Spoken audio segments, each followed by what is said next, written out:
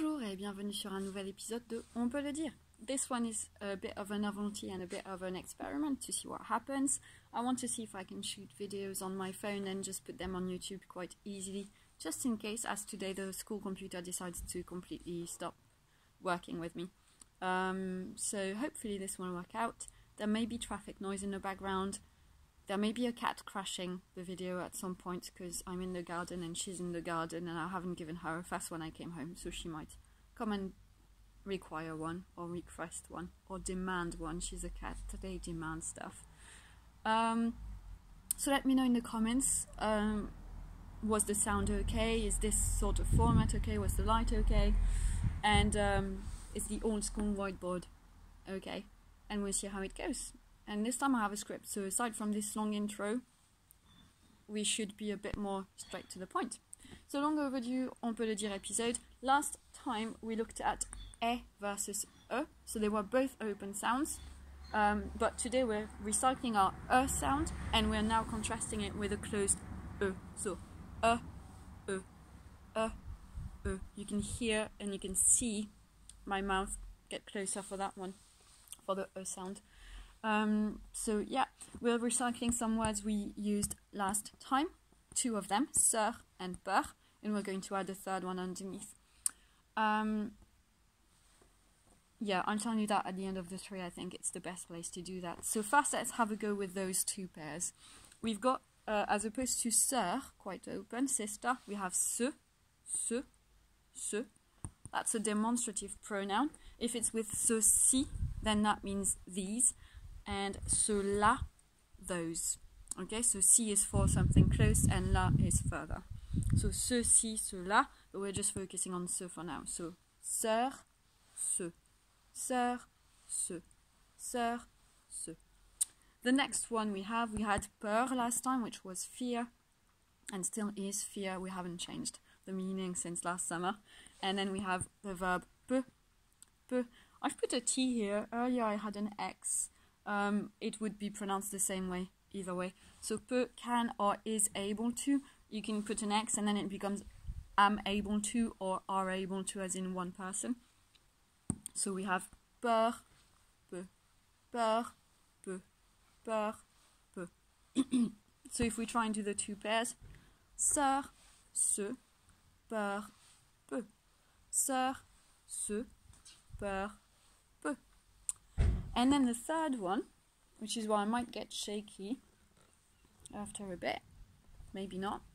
That's about straight.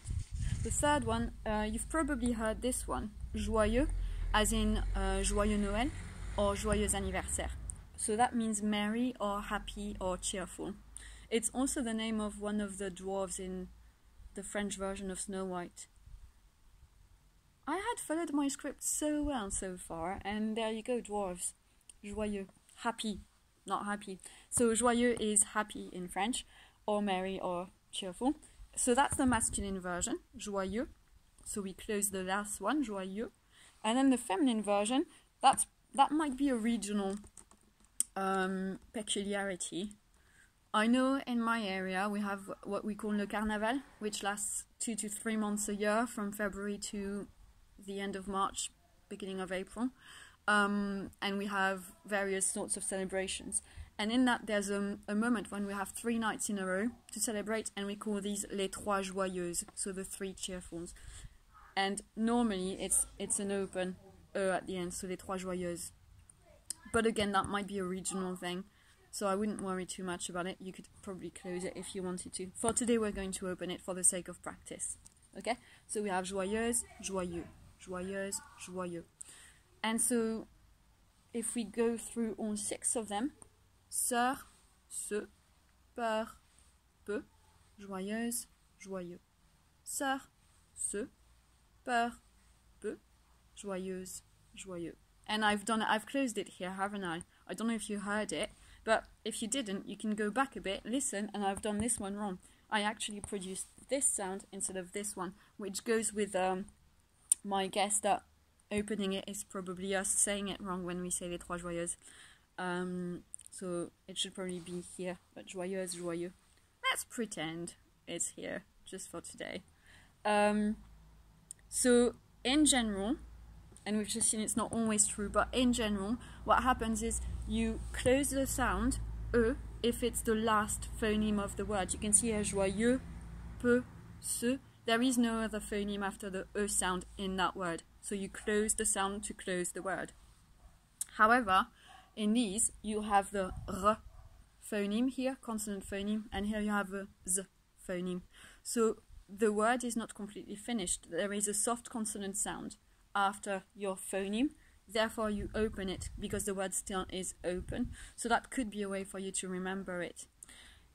Mostly, this sort of thing, opening and closing your e or e, will come spontaneously. The main reason we have them in French is just because it's easier to have them come out this way. It's more, it's just more spontaneous, more natural. And so, in order to practice that and see it in, see it in action, we have a sentence. It's not really a tongue twister. It's not really funny either. Um, so we have ma sœur veut se lever à deux heures, which is just my sister wants to get up at two o'clock. I don't know. Um, and in purple, I've put the vowel phonemes that we're practicing. So in black you have the spelling, and in purple the, pho- the um, phonemes. Okay. So we have ma open a, sœur quite open, veut. So we go from very open, quite open, close. Ma sœur veut. Okay. And then the next line. So this could be softer and we'll do that in the next video but for today let's just make it strong and close se so we have se lever we're recycling the old e that we did uh, I think two or three videos ago. So se lever a arguably you could do se levera but I think that's a bit excessive today. So se lever a so we go ma sœur veut se lever a okay so we have open half open, close, close, close, a bit stretched, open. And then the last bit, you go from close to open, so we have deux heures, deux heures. And notice how your X here is going to tie into your next vowel sound. The H isn't pronounced, and the X is sounded as a Z just to soften it. It's called une liaison. So we have deux heures. Okay? So, ma soeur veut se lever à deux heures. And that's going to be our sentence today. Um, something that could help you maybe is to emphasize certain parts. So I was going to put this away, but I want to use it again. So keywords and key sounds that we're going to emphasize. Is that the right word? Emphasize? Emphasize? I'm going to need to check that afterwards. Ma sœur veut. So that's the noun and that's the subject, so it's important and that means that we are emphasizing it. And this is what I mean when I put a, a line over it. Ma sœur veut se lever. End of the verb. Get up. Up is key. À deux heures. It's important to know it's two o'clock, not three, and it's hours, not um, in two beds or something. It would be weird in French to not say hours. Okay. Um, I think I'm not recording. Yes, I am. Suddenly I thought, no, I'm not recording, I've just been talking to myself for eight minutes, which is quite a long time actually. So let's do this one and then that may be it for us, if the crowds stop. Uh, so, let's go. Ma soeur. I don't know why I froze, brain freeze. Ma soeur veut se lever à deux heures. Ma soeur veut se lever à deux heures. Ma soeur veut se lever à deux heures. Ma soeur veut se lever à deux heures. And that's it for us today. Uh, next time we'll look at a new sound which actually does exist in English this time. It's called schwa and it's this symbol schwa. It's very weak, so it's typically the E that we drop in French. You probably have met this already in your French lessons. Uh, so next time we're contrasting either E and E or E and. They're really close, those two. Uh, probably most French people don't really perceive the difference, and it's just in action that it matters, so that should be a nice one. And then we only have one pair of oral vowel sounds to do before we dive in and do the nasal vowels, which will be fun. Okay? So um, that's it. obviously the downside of me doing this on my phone and here at home uh, is there is no intro and outro like I'd been trying to do. So um, it's just me. And so for the outro, all I can say is like if you like this, subscribe if you haven't already done so, share this with anyone you think this might help. If you have any feedback, anything you liked or uh, didn't particularly like on the opposite uh, end of the spectrum, let me know in the comments below, and then obviously I can work on it and improve those videos. And I think just to say goodbye, I'm gonna show you my little cat. That's probably a good outro. Lots of people do cats on YouTube. So, cats. Luma Tu viens Bon oui Tu viens ma puce Tu dis au revoir Oh oui, t'es belle.